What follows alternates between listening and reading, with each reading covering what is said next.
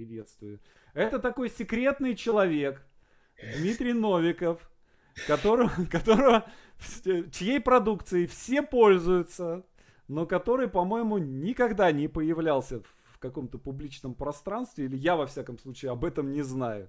Вы выступали где-то на каких-то вебинарах, семинарах? Нет, Дмитрий? Да, нет особо. Там было пару раз, э, когда я запускал краундфандинг в 2018 году, 19 19 на сценарных питчингах, типа, я там выступал, а вообще как-то стараюсь держаться в тени.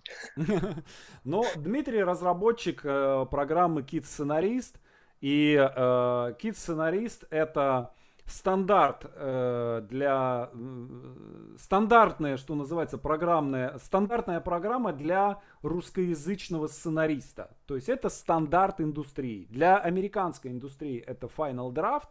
Э, они есть, э, да, то есть и тоже ими можно пользоваться. Я пробовал и Final Draft, я пробовал и этот самый, господи, и Celtics. Но в России и вообще в русскоязычной сценарной индустрии Кит сценарист, все пользуются китом, очень удобная программа. Э, и э, Дмитрий, в общем, э, отзывчив, отзывчив и легко и быстро отзывается на какие-то вопросы людей, которые пользуются этой программой. И я ее всячески, всячески пропагандирую. И в нашей мастерской тоже. Все наши выпускники, все выпускники сценарной мастерской пользуются э, вашей программой. Итак, Спасибо. Э, давайте расскажите нам о том, об истории создания кита. И если, ребята, у вас есть будет какие-то вопросы по киту, то тоже задавайте, пишите в комментарии. А, окей. Хорошо. Спасибо вам большое за приглашение. Для меня это было неожиданностью. Ну да, я вообще как-то не часто где-то там свечусь, где-то выступаю, что-то делаю. Я больше про то, чтобы закрыться здесь в своей комнате и тихонечко сидеть, создавать Э, творчеством заниматься. Поэтому, да, но это прикольно, это интересно. Я подумал, конечно, с удовольствием присоединюсь. И расскажу всем немного... Наверное, у меня будет выступление отличаться от всех остальных э, спикеров, потому что я как бы не изнутри, я больше не то чтобы сбоку, но как бы сверху, что ли. Я сам не погружен а, вглубь всех этих процессов, а ну, создаю продукт, короче говоря. И мое выступление, оно будет скорее больше о продукте и обо мне. Это будет такая история, как я себе это представляю, по крайней мере. Путь героя. Ну, я надеюсь. Э, да, история э, с разными сюжетными поворотами э, и падениями, и подъемами, но которая еще не закончилась, и я надеюсь, мы все вместе будем наблюдать, как она будет развиваться дальше. Итак, всем привет. Меня зовут Дмитрий. Вы, наверное, меня знаете как Димку. Может быть, это такой прикол с каких-то университетских годов. Э, так себя называть. Но мне это нравится, и до сих пор э, я так э, везде подписываюсь. Всегда ваш, всегда с улыбкой Димка Новиков. А вот, я вообще сам сибиряк из Красноярска. Закончил Сибирскую аэрокосмическую академию по специальности там, программиста. И всю свою сознательную жизнь, в принципе, уже, наверное, больше 15 лет я занимаюсь э, программированию. Э, вот. Э, как вообще я попал э, в тему кино, в тему сценарного дела? Может, кто-то слышал эту историю, может, нет, но это был 2013 год. Мы тогда с супругой переехали в Москву из Калининграда. Я вообще немножко полетал по стране, и потом в тринадцатом году мы переехали в Москву, и здесь я фрилансил. А, какое-то время я, значит, искал проекты, и один раз э, мне написал второй режиссер, типа, Дима, привет, э, давайте там обсудим возможность создания программы для автоматизации производства. Ну, составляйте КПП, вот это все, наверняка всем это знакомо. А, я был э, крайне далек от темы, но мне показалось это интересным. Я немножко поресерчил вопрос и приехал на встречу. А, мы встретились, пообщались. А, на тот момент как бы в России все работали в Word, и Word, по сути, и сейчас остается моим основным конкурентом.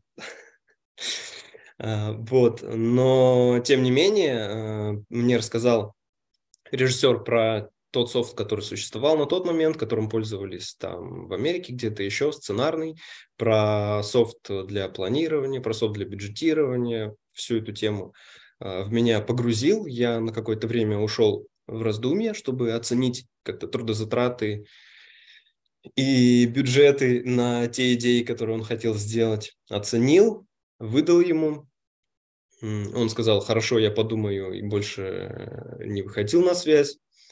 Вот, но меня заинтересовала эта история. Я посмотрел э, на софт для сценаристов.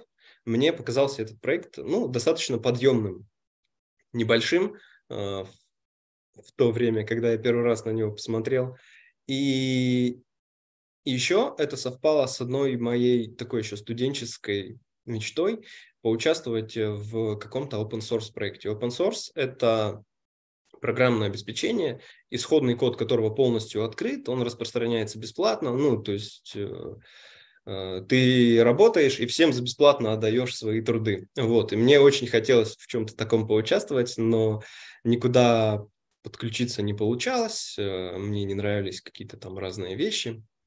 И я подумал, что небольшой проект, которым можно заняться и в котором можно попробовать себя вот на этом поприще. Вот, я, значит, нашел форум сценаристов screenwriter.ru и написал туда э, эту тему свою, которая жила, живет до сих пор, там иногда еще какие-то обсуждения возникают, уже прошло 9 лет. Я туда написал, типа, ребята, привет, э, я там Димка Новиков, у меня есть идея, я вот хочу создать софт, поделитесь своими размышлениями о том, что вы используете, что там, какие бывают программы вообще, а, что вам нравится, что не нравится, чего бы вы хотели добавить к существующим там решениям или как можно сделать вашу работу. А, в общем, эдакий customer development начался, я начал общаться активно с авторами и потихонечку, помаленечку начал фоном работать над программой, вот, изначально, э, смотря на всех конкурентов, которые были там вокруг, я видел, что, по сути, ну, такое приложение для авторов – это некий текстовый редактор, который э, позволяет там автоматизировать процесс а, чисто оформления сценария. То есть вот в России там такой стандарт, такой шаблон, там в Америке такой шаблон, э, в Израиле там такой шаблон. Ну и программа это позволяет просто описание действия, реплики, заголовки сцен – и так далее, расставлять нужным образом, там, добавляя немного автоматизации в виде выпадающих списков там, имен персонажей, локаций, место и время действия. Ну и вот э, какое-то время, по-моему, месяцев 9 мне понадобилось на то, чтобы прийти к какой-то первой версии. Э, на 3-4 месяца я выпал где-то из того форума, и ну, было интересно смотреть, как ребята начали писать, ну что, типа, куда пропал, где результаты, где чего, все, загнулся проект. Вот, и вдвойне интереснее было потом предоставить, представить публике первые плоды. В 2014 году вышла первая версия, э, которая была очень простая, не очень стабильная и, э, ну, такая MVP, что можно сказать в современном мире, да, она умела делать небольшие вещи, она умела э, оформлять сценарий нужным образом и выгружать его в RTF формат. Вот. Э, начали подключаться к проекту все больше и больше там авторов, э, к этой ветке на форуму, на форуме, э, все больше людей начали там присылать какие-то фидбэки, разные сообщения, предложения, улучшения. Я это все начал выписывать в отдельный файл. И вот сейчас, если я его открою, там что-то типа 80 страниц. Ну, такой Word документик, в котором 80 страниц. Я просто вот из текущей точки оцениваю тот свой взгляд э, на то, что проект небольшой, и то, что я узнал, погрузившись очень глубоко в проект, то, конечно, это совсем не соответствовало реальности тот мой первый взгляд. Но, наверное, благодаря этому и совершаются какие-то такие, я не знаю, проекты, рывки, когда ты думаешь, да ладно, сейчас что-нибудь сделаю, начинаешь делать, делать, а ты даже не знаешь, что за этим поворотом тебя ждет. И ты такой юный, бесстрашный, грудью на амбразуру, и, в принципе, что-то получается. Вот, и после того, как э, появилась эта первая версия, я потихоньку начал ее развивать. Э, это была просто эйфория, когда ты делаешь какую-то вещь, которая, поле, которая полезна для других людей, которая помогает им решать какие-то их вещи, и они приходят и отдают тебе. Приходят и пишут, типа, Дима, спасибо, так круто, э, ты там сделал это приложение, оно упрощает мне жизнь там и так далее. Я вот там здесь уже написал. У меня было просто, я был, я просто витал там, я не знаю, на небе от счастья и там очень, ну и сразу гораздо больше свободного времени начала занимать работа над проектом. Я выкладывался, вкладывался вообще как только мог. Э, по сути, я работал на основной работе, ну, к тому моменту, когда вышла уже первая версия, я уже не фрилансил, я пошел в офис. Я работал в офисе и занимался китом, э, ну, исключительно в свободное время, где-то там по утрам, где-то по вечерам, где-то по выходным. Ну, таким образом, немножко отбирая там своего личного времени и принося его сюда. Но тот э, выхлоп, те вот эти первые отклики, которые давал проект, они нейтрализовывали, компенсировали все те затраты, которые там, я в него вкладывал, и давали гораздо больше. А, это было что-то такое, прям я даже до сих пор вспоминаю с трепетом с таким. Вот. Значит, потом программа постепенно выползла за пределы этого форума, на другие форумы, в социальные сети, куда-то еще начали появляться все новые новые люди, э, функционал разрастался сильнее и сильнее, и потом э, в шестнадцатом году, получается, программа, появились первые локализации. Ну, сначала там была только русская версия, и все, программы даже нельзя было выбрать там типа английский язык, чтобы на ней включить. Но в шестнадцатом году как я подумал, почему нет, попробую пригласить э, ну, каких-нибудь э, там англоязычных ребят, э, попробовать программу. В принципе, я вижу конкурентов, вот они все, и Кит там не уступает в каких-то моментах, даже может быть лучше, чем другой софт. Почему нет? Попробую. Написал тоже на несколько зарубежных форумов, ребята откликнулись с интересом, я сделал э, локализацию на английский, и с этого момента началась такая, да, можно сказать, международная история проекта. Он уже так перешагнул э, границы нашей страны, там СНГ, каких-то ближайших к нам стран, и уже полетел фидбэк, уже полетели э, какие-то хотелки, какие-то идеи, как можно улучшить э, софт с точки зрения там вещей, которые, например, в России даже совершенно не используются. Ну или не использовались в тот момент, по крайней мере. А, вот, э, на протяжении всего этого времени я так и продолжал э, полностью бесплатно это все распространять, э, весь код был в открытом доступе. И такой интересный момент, что я там менял работы в течение этого времени, и на каждом следующем собеседовании на мое резюме практически никто не смотрел. Ну, я, у меня там было дописано, типа, э, я там работал на таких-то, таких-то работах, и вот э, по сей день являюсь автором проекта «Кит-сценарист», там ссылочка и все такое. И на всех э, собеседованиях, ну, практически на всех, меня просто спрашивали, ну, что, Дим, расскажи, вот что это за проект такой у тебя? И я рассказываю людям то, что я вот здесь сам там проектирую, сам программирую, сам дизайн от программиста рисую, с людьми общаюсь. И, ну, и практически всегда, я не знаю, может быть это, может быть что-то другое, но собеседования завершались успешно. Вот, и постепенно, выйдя на международный рынок, проект э, рос все сильнее, отнимал времени все больше, э, и я начал думать о том, что, наверное, как-то э, неправильно, когда не происходит, э, знаете, эдакий обмен энергией. Ну, когда на первых порах вот люди приходили и говорили типа, Дим, спасибо большое, программа класс, то это заряжало прям вообще. Но это и сейчас заряжает, но уже нет э, той эйфории, потому что есть понимание, что да, я вложил сюда огромное количество труда, я вложил сюда огромное количество там пота и, и слез в какие-то моменты, да, э, что я жертвую там чем-то, чтобы давать это, например, ну, в то время, пока я работал на основной работе и там отжирал э, свое время на выходных, чтобы посидеть, покодить, чем-то позаниматься. Я начал э, думать о том, чтобы как-то монетизировать приложение. И в параллели с этим э, начали поступать запросы от пользователей о том, что вот э, клево бы сделать возможность э, нескольким авторам совместно работать над проектом. А, я начал смотреть в эту сторону, э, и в 2017 году появились какие-то уже первые там наброски облачного сервиса на коленке, который типа как Google Docs позволял нескольким авторам работать одновременно над своими текстами, а, и который, в принципе, по сей день существует со своими там косячками, со своими некоторыми проблемами, над которыми я работаю, но об этом вернемся позже.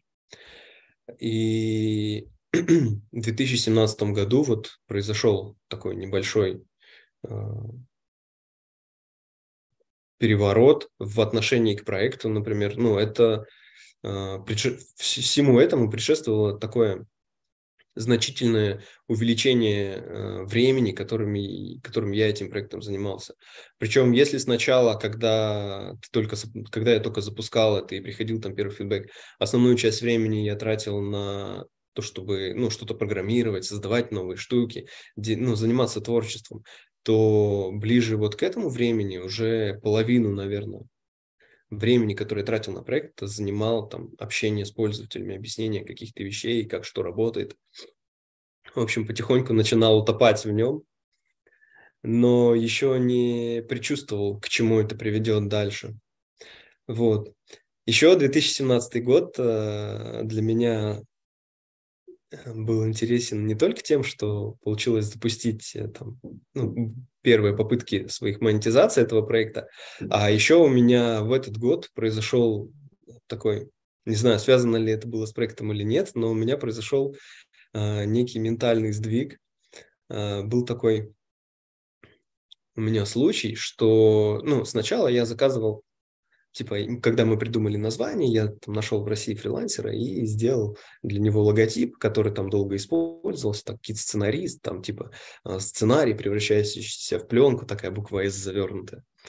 Вот, но он был такой простой, на какие-то свои деньги я там нанял человека, он его сделал.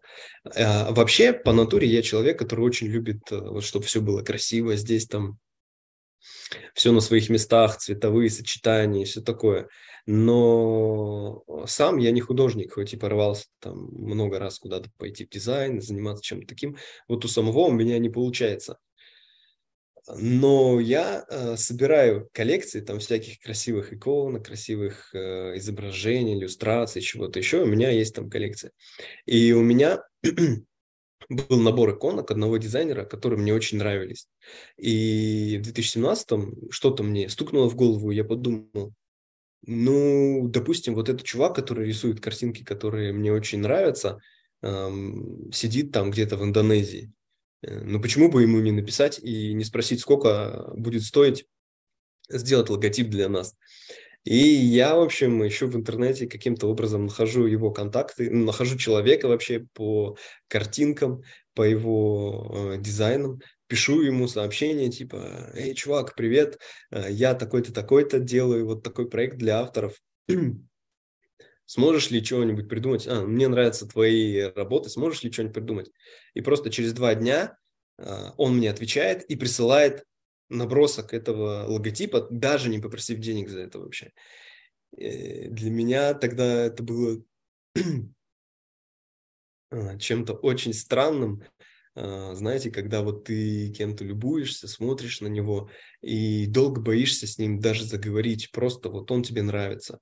И боишься заговорить не потому, что там ты не умеешь говорить, или, а, а просто ты, ты думаешь, что он недосягаем. И тут э, между вами пропасть вот так соединяется, и ты понимаешь, что, в принципе-то, можно поговорить с любым человеком. И все люди, они доступны, в принципе, и каждый из них, ну, там, конечно, по-своему ответит, но он тебе ответит, ты всегда можешь найти контакт. Здесь человек присылает мне просто наброски, э, я ему говорю, круто, а можешь еще вот такие цвета взять? Он берет эти цвета, я говорю, как тебя можно благодарить? Он такой, да, типа, если хочешь, там, что-нибудь мне на PayPal закинь, да и все. И с того дня ну, для меня просто не было, наверное, никаких барьеров, когда нужно найти какого-то человека, выйти с ним на связь и ну, там, обговорить с ним что-то, написать ему, спросить совета там, или чего-то еще. В этом же 2017 году а, ко мне присоединился для работы над проектом человек, а, тогда он еще был студентом, Алексей его звали, и, в общем, мы вдвоем с ним что-то там делали, и решили, что нам обязательно нужен маскот, какой-нибудь э, талисман приложения. Мы поняли, что это обязательно должен быть кот, потому что все авторы любят котов. Александр не даст соврать. И у меня в моей коллекции этих картинок также была э, картиночка одного из авторов, который э, рисовал всяких разных персонажей. Там были какие-то брокколи, картошки, но они были нарисованы очень прикольно. В общем, меня все время воодушевляла эта картинка, такие позитивные. Я думаю, хм, надо написать, надо найти, кто это, что это за человек, и написать ему. Это оказался Винченцо Валзаман.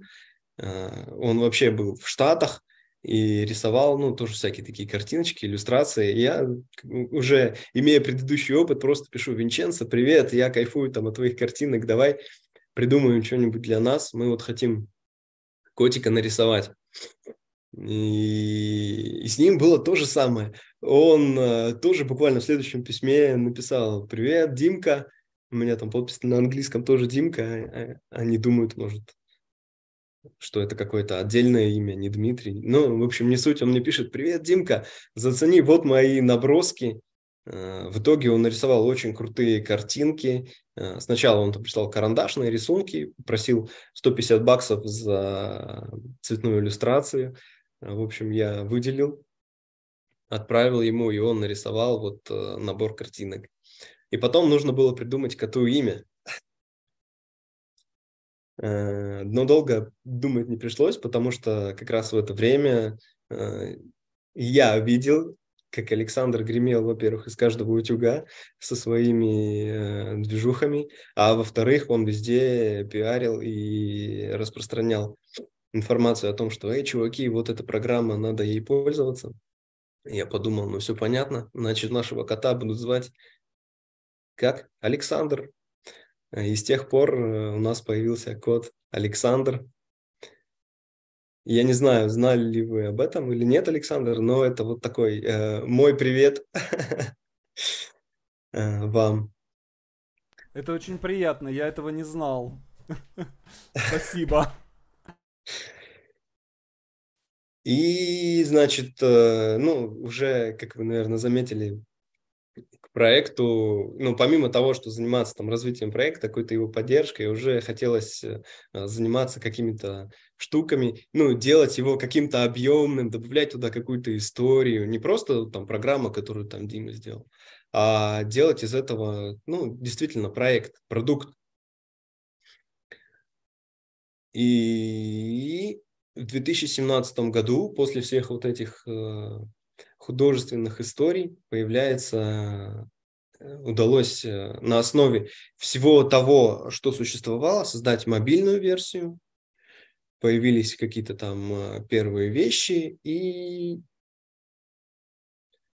я все ближе и ближе подходил к краю доступных мне, данных мне Богом возможностей, потому что количество пользователей, количество людей, которые писали мне ну, и хотели там а, задать вопрос, что-то уточнить или там просто пообщаться, предложить идеи, оно просто росло вот, э, вот стремительной скоростью вверх. Знаете, этот график клюшки, когда с какого-то момента все начинает просто очень сильно обостряться. Я к этому был не готов, и кроме того, я не замечал, как э, ну, вот это усиление постепенно, постепенно, постепенно э, отбирает э, все больше и больше и больше моего, моей свободы, там, личного времени, и у меня уже практически не оставалось выходных, у меня начались конфликты здесь дома с супругой, э, которые, ну, очень сильно, в том числе, подорвали здоровье мое. Короче, в 2018 год я входил, ну, не знаю, если не сказать, что на дне, ну, то где-то очень рядом с ним. Просто здоровье не в хлам, дела близкие к разводу, а, я не успеваю ни черта сделать ни здесь, ни на своей основной работе. Короче, ну, была просто жесть. Но проблема была в том, что я никак не мог а, бросить это все. Ну, то есть, например, там самое простое решение, например, я бросаю это все, ну и как-то все устаканивается. Но не то, что не хотелось бросать, мне нравится всем этим заниматься, и мне нравилось. И я там с удовольствием встаю в 5-6 утра, чтобы пока все спят, а, просто сесть и писать код. И создавать какие-то фичи чтобы там вы могли там на две минуты меньше тратить своего времени при работе с проектом или там что-то еще, где-то исправлять какие-то ошибки, ну, э, улучшать проект. И, короче, смотря на всю складывающую ситуацию, я понял, что ну, нужно принимать какие-то более радикальные меры. И а, в общем, тогда я запустил краундфандинг, на котором чего я хотел. А, я хотел сделать э, так, чтобы авторы имели возможность продолжать бесплатно работать с проектом, а я а, мог иметь возможность э, заниматься только проектом. Ну, грубо говоря, комьюнити финансирует разработку, и ты идешь и развиваешь дальше этот свой open source проект. И мне казалось это посильным, потому что количество там активных пользователей к тому моменту уже там переваливало за 10 тысяч, было очень много людей, было очень много обращений, и я прикинул там примерную смету, как, как двигаться дальше, и кроме ну, того, что у меня были какие-то организационные проблемы там, ну и семейные, еще очень э, ярко обострился момент э, в самом софте.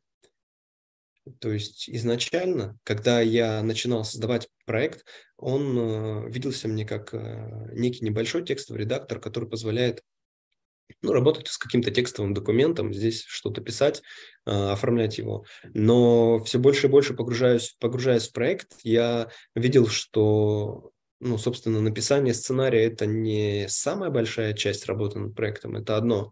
А второе, что все больше и больше э, проектов появлялось сериальных.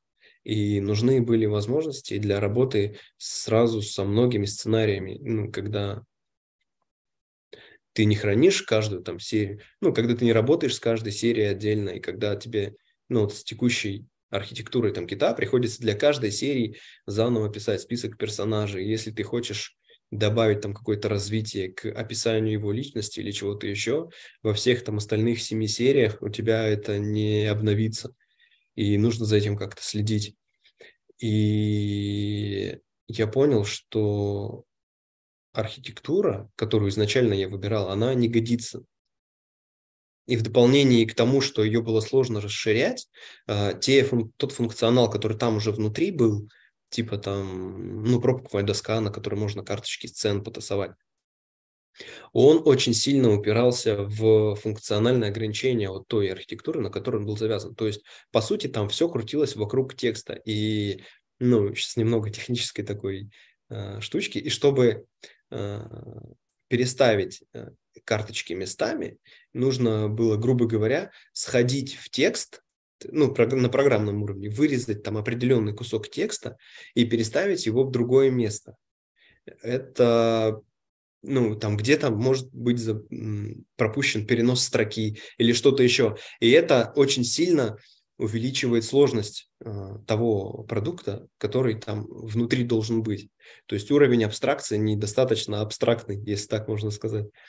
И вот э, в купе все эти вещи э, как раз и сподвигли меня на то, чтобы запустить краундфандинг. Я думал, что сейчас в легкую соберем миллион, и у меня будет э, достаточно ресурсов, чтобы бросить там все работы и там полмесяца, полгода заниматься чисто этим проектом, перекромсать архитектуру, сделать, э, чтобы все было красиво, э, добавить там определенные фичи и заодно перейти на модель финансирования, когда э, типа есть платная версия, и в ней доступны все самые последние новые фичи, которые только есть в приложении. И есть бесплатная версия, которая на, одну, на одно обновление как бы отстает от текущей.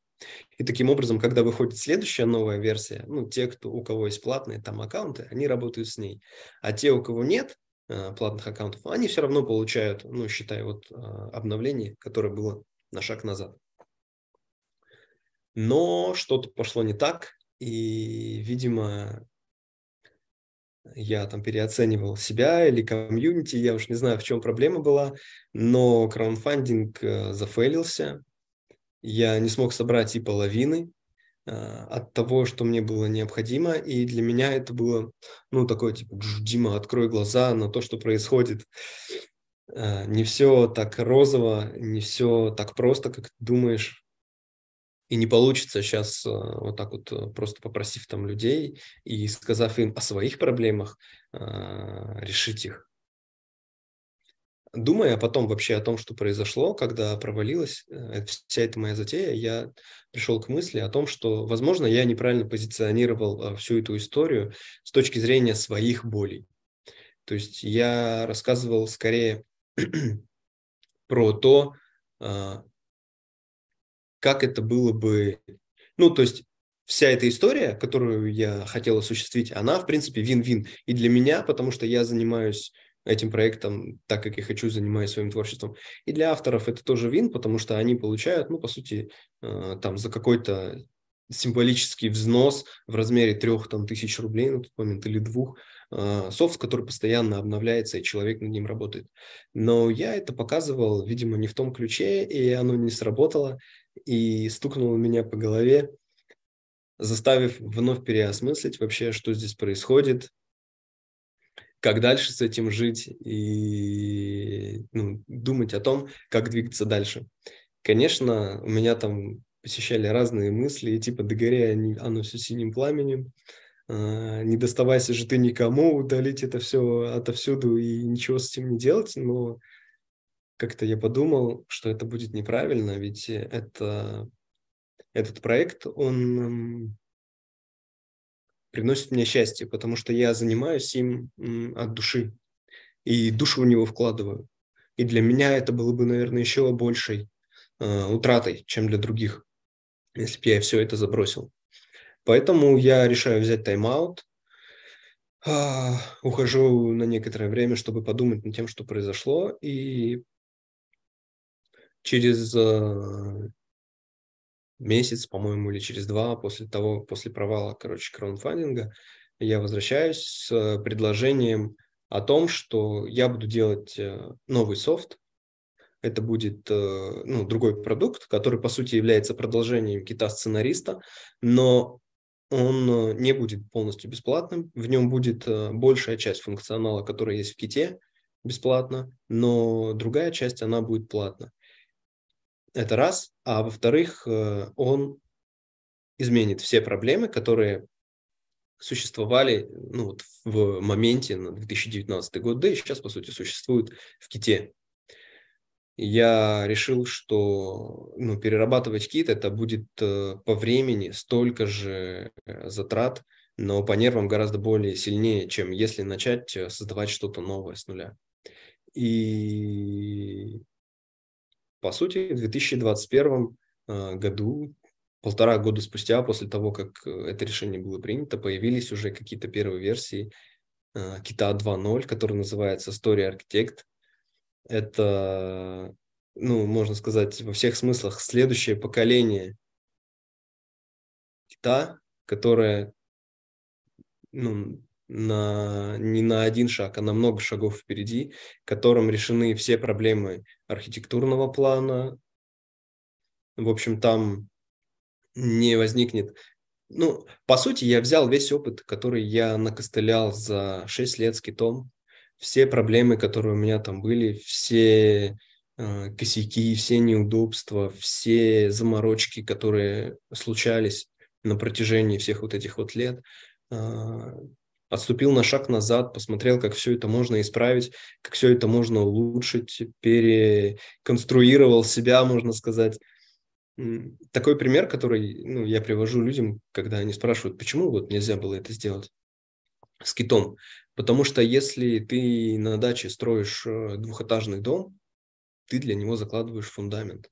Вот э, для софта таким фундаментом является его архитектура, как оно устроено изнутри. И на фундаменте двухэтажного дома ты не построишь небоскреб. И также здесь на, на архитектуре там, простого текстового редактора невозможно построить э, ну, более гибкую систему, ну, не управления проектами, но что-то типа того. Поэтому, да, я выкинул кита, взял, открыл пустой текстовый документ и начал туда писать код. Это заняло много времени, я продолжал работать и заниматься этим в свободные минутки, в свободные вечера. Э, запустился. Э, сегодняшний Э, сегодняшняя конференция очень интересно в пику идет, потому что буквально в этом месяце уже выходит версия Старка, как мы его сокращенно называем, которая функционально на 95% заменяет кита, и с следующего месяца уже ну, поддержка кита останавливается, и, я, и мы начнем всех пользователей кита постепенно переводить на новые рельсы на новый софт, но кит он остается, он э, заморожен в том состоянии, в котором он вот э, на конец октября будет существовать. Там будет еще один, одно последнее обновление, и все. А, да. И, значит, э, уходя в работу над новым проектом, я принял решение, что сам буду его финансировать. И посчитал, посмотрел, э, мне кажется, что здесь есть все шансы выйти там на самоокупаемость, сделать из этого нормальный бизнес, который будет опять вин-вин, но не из серии там э, донатов каких-то там еще вещей, когда по сути ты зависишь от того, какое настроение у людей, хотят они там пользоваться, ну, хотят они донатить или не хотят. А здесь это нормальный полноценный бизнес, который позволит и с другой стороны развивать э, свободную часть этого проекта, который смогут пользоваться все там, начиная от студентов до начинающих людей, которым нужен инструмент для того, чтобы работать над киносценарием. А, вот, в 2022 году, в начале 2022 года у меня э, произошел следующий этап э, такого моего пути, когда, э, знаете, ты вот что-то делаешь, и оно все время немного как будто недо. То тебе времени не хватает, то тебе там чего-то еще не хватает, э, людей не хватает, ресурсов не хватает, и ты не можешь понять, не устал ли ты от этого, не мертвая ли эта лошадь, знаете, а, когда-нибудь это закончится, когда-нибудь ты придешь к цели, к которой ты там хочешь прийти, даст ли он тебе то, чего ты от него ждешь.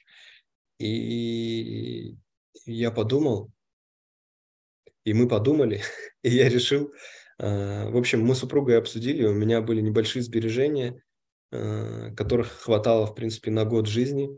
И я решил, что, ну и мы вместе решили, не я решил, конечно, спасибо ей большое, она очень меня поддержала в тот момент. А, мы решили попробовать закрыть все вопросы с постоянной работой и чтобы я целиком сконцентрировался на проекте. Плюс э, за время краудфандинга и после э, ко мне присоединился там еще один человек, э, который тоже сейчас, по сути, является кофаундером вот этого нового проекта, который э, поддерживает постоянно. И мы решили, что надо попробовать. Откладывать постоянно и ждать э, маны небесной, там помощи откуда-то извне, успешного краудфандинга и чего-то еще можно там бесконечно долго.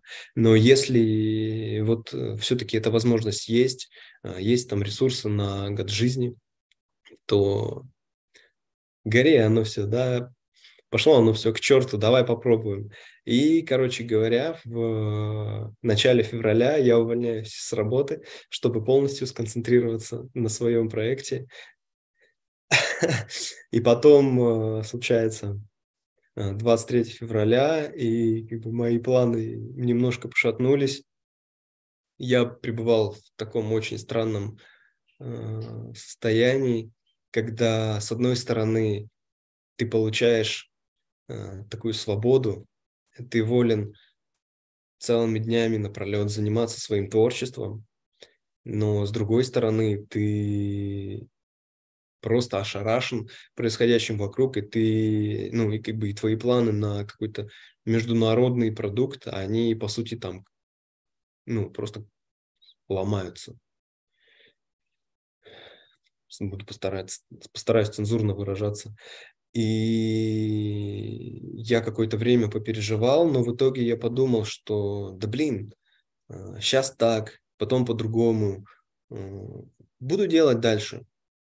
Буду заниматься тем, что у меня есть. Буду делать то, что я умею делать лучше всего и то, что я люблю. И просто буду развивать дальше свой проект, буду им заниматься, а как бы решение уже принято. Что там, ну, типа, что переживать? Все, поехали дальше, садимся едем. И, короче, при помощи работы над проектом, при помощи всех э, людей вокруг, при помощи пользователей, при помощи фидбэка, все это ну, как-то помогло войти в нормальную струю, сконцентрироваться. И, в принципе, сейчас продолжаю фигачить.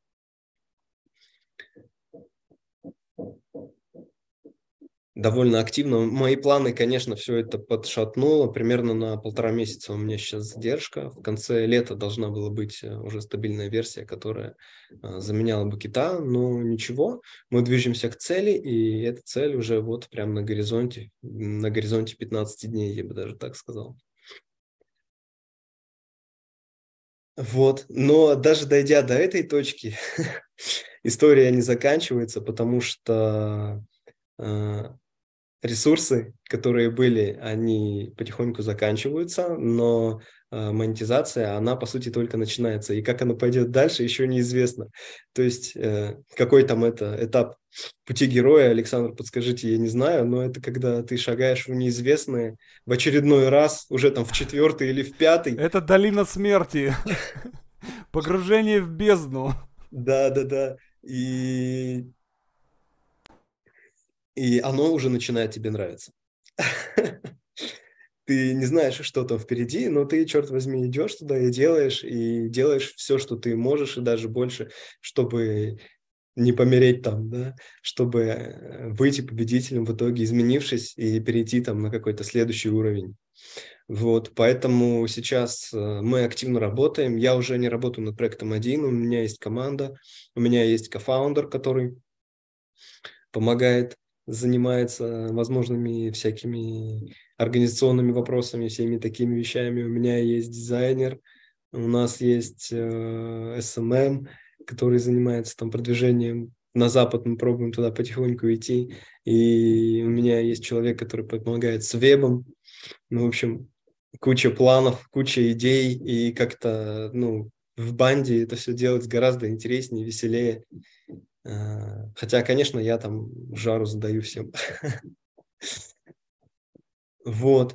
И впереди, конечно, не только то, не только тот этап, чтобы заменить то, что уже было сделано, но впереди еще куча всего нового, куча чего хотелось бы дать авторам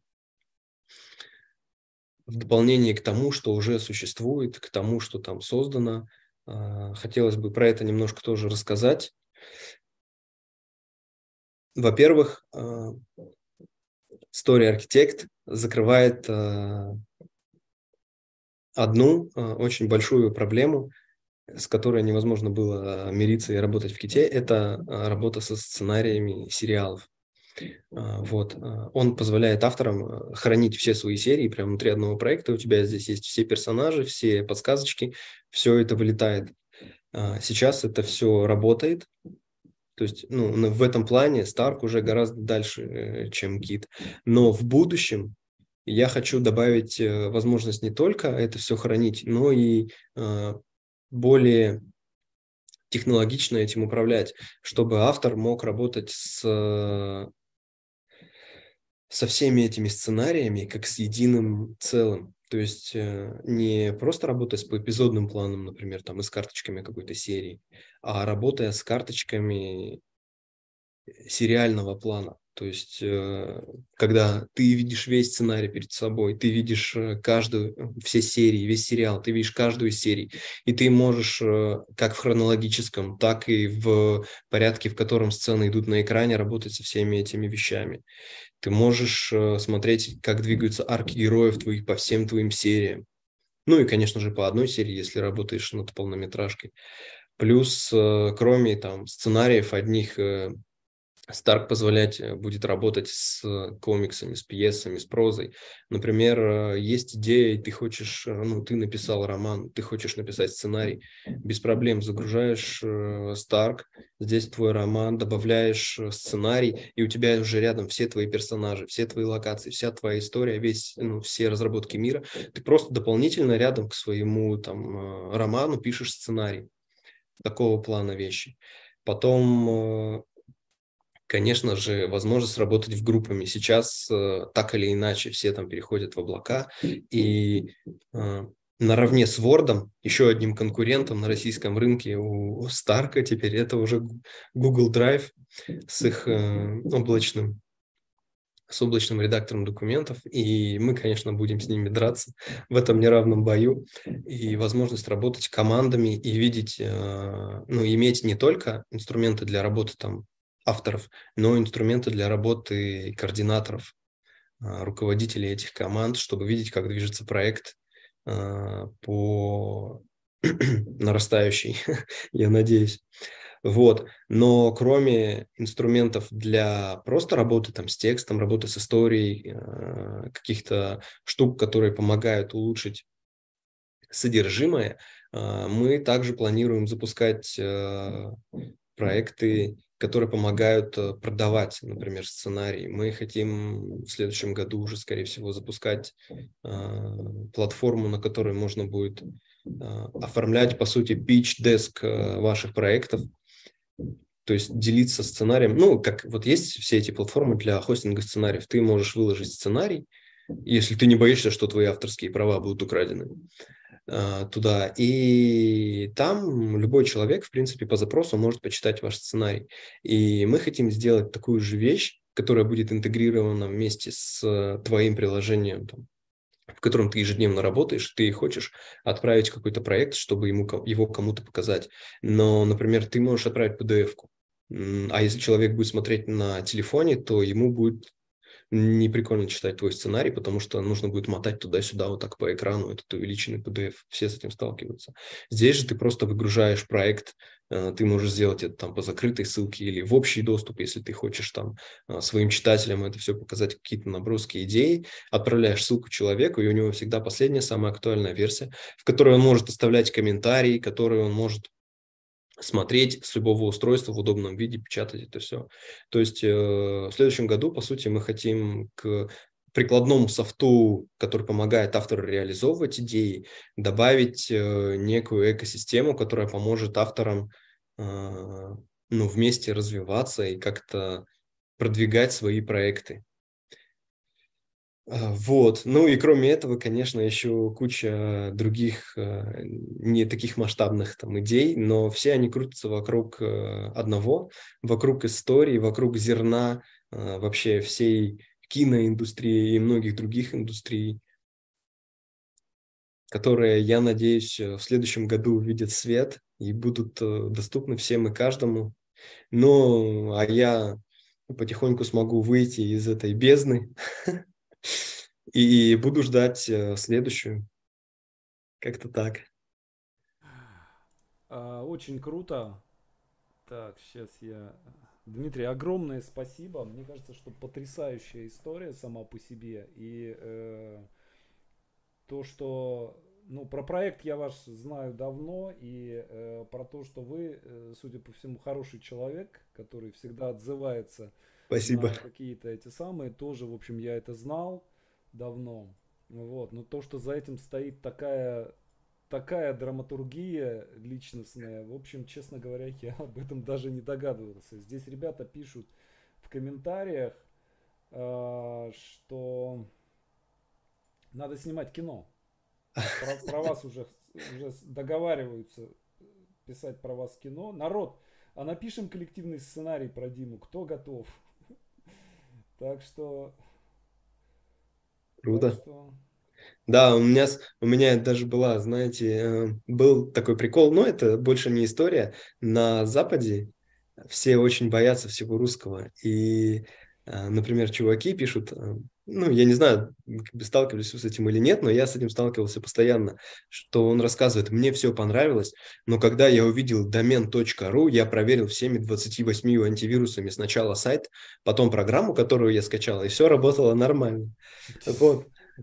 И у меня даже э, был прикол в дополнение к этому, э, тоже часто, ну не часто, особенно первое время, пока еще не было какого-то доверия к этому проекту, э, люди переживали, что их там сценарии украдут, э, авторы программы и так далее. И была идея сделать э, такой ролик, который э, типа показывает, как программа была создана продюсером, который выделил денег на то, чтобы воровать сценарии оттуда.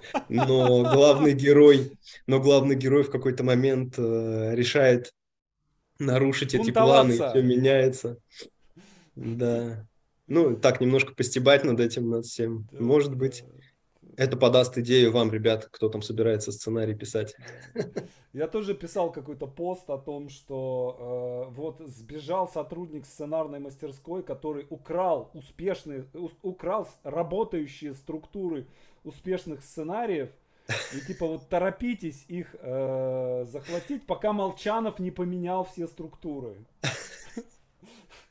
Так что так, да, ребят, я, э, те, кто в прямом эфире смотрят, я в чат кинул э, э, ссылку на, на программу, а те, кто будет в записи смотреть, я добавил в описании видео тоже. Вы можете пройти, подписаться там на, на тариф Pro и, э, и оплатить прослушанную вами сегодня историю. Так, спасибо вам за ваши программы, Дмитрий, вы настоящий Старк. Так, спасибо за ссылку, Александр. Сегодня же подпишусь на ПРО. Вопрос, а командный опцион тоже может быть пожизненным? Есть такие планы?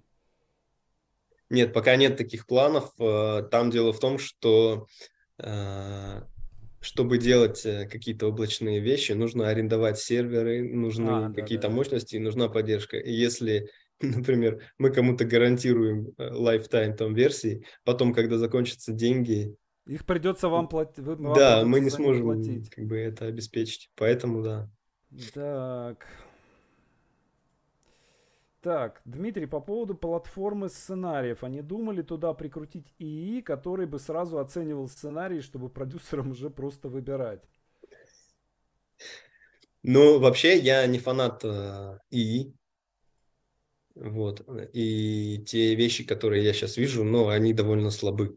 Угу по сути, даже там те сети, которые умеют ну, что-то рисовать, ну, сейчас это прям тренд, они делают э, по мотивам кого-то там чего-то, формируют тексты по мотивам кого-то чего-то.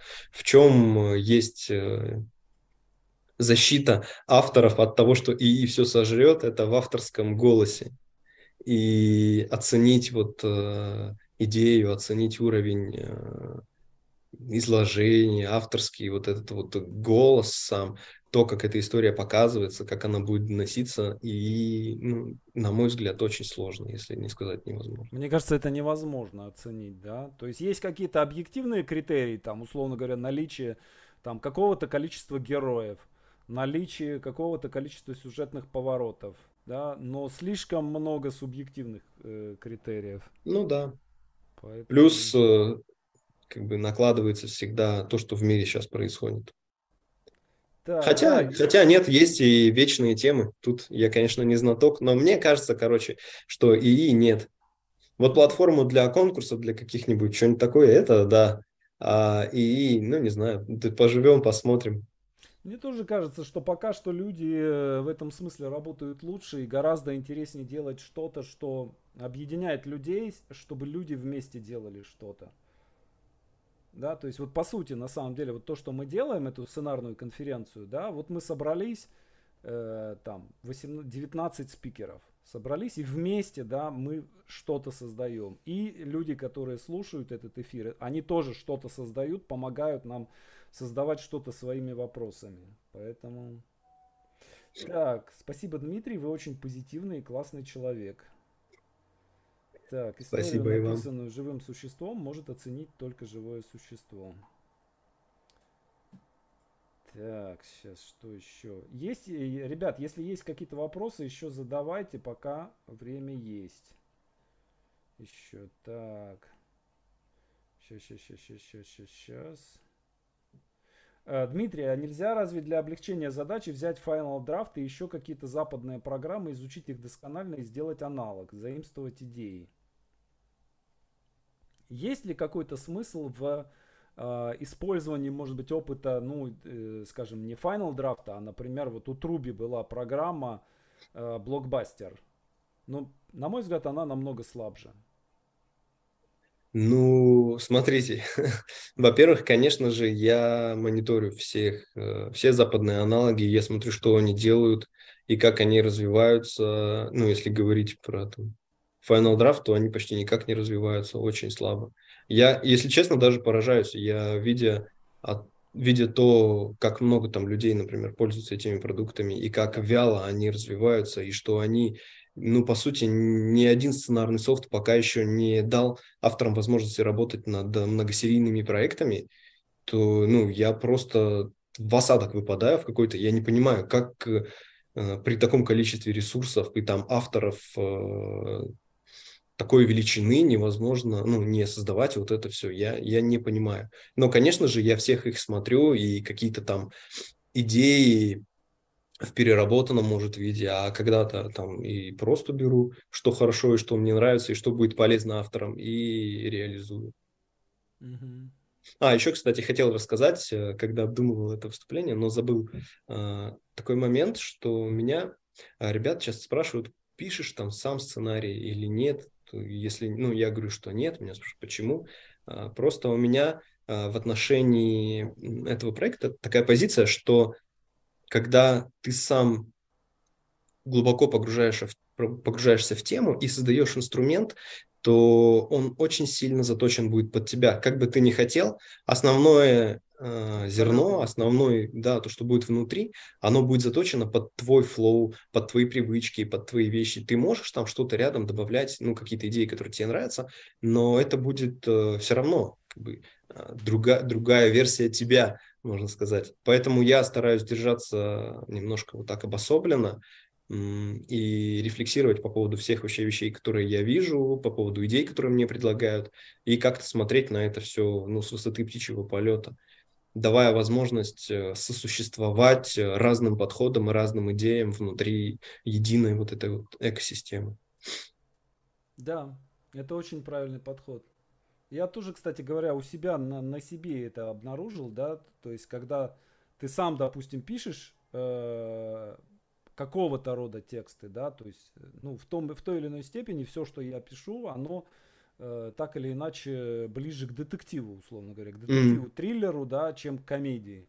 Вот. И э, если э, ты слишком держишься за то, что ты хорошо умеешь делать, да, то ты начинаешь э, и учеников своих под это затачивать. Да, а вот этого очень не хотелось бы. Вот, и поэтому нужно очень сильно разделять, да, то есть то, что ты делаешь, и то, что, то, что делают ученики. Mm-hmm. То есть то же, то же самое, да, сохранение некой, некой дистанции такой. Ну да.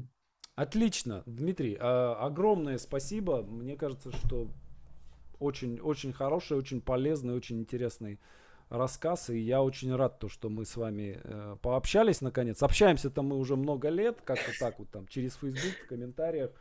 Вот, э, так сели, сели и поболтали. Спасибо вам. Да, спасибо вам. Пока-пока. Счастливенько. Всем пока. Все, ребят, пишите Пишите в комментариях много-много-много-много э, спасибо Дмитрию. И улыбки, улыбки у всех, чтобы были. Котики, котики. Котики, да. Да, ну про кота это я не знал, честное слово, про это. Очень приятно. Спасибо. Все, счастливо. Счастливо.